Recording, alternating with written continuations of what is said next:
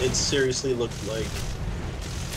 Ugh, it looked frightening to me. It looked like a skull, and I didn't know what to do. I didn't even feel protected under my blanket because I thought it would just like kill me through the blanket or flip the blanket up in the air and eat me or something.